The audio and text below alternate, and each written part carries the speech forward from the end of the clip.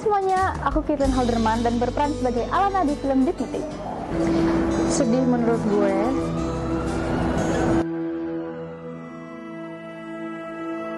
sedih menurut gue adalah scene di mana Alfie uh, buta karena dia udah nyelamatin gue. Tapi di saat itu gue nggak percaya sama dia. Dan menurut gue itu gue fatal banget karena nggak seharusnya gue kayak gitu.